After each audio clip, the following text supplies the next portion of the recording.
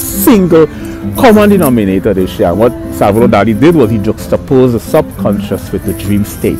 This is what you call surrealism or surrealist, surrealistic. Surrealistic when there's a disparity between two objects.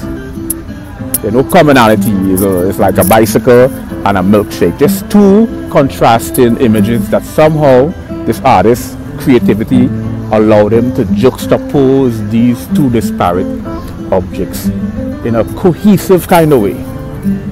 Juxtapose is cohesive juxtaposition. That's why I find surrealism to be a whole different fascinating phenomenon in art because a lot of juxtaposition. You see that juxtaposition pervasive in comedy. Mitch Hedberg, where I like to throw Mitch Hedberg, the surrealistic comedian. He said he threw a toothpick in the forest and said you home.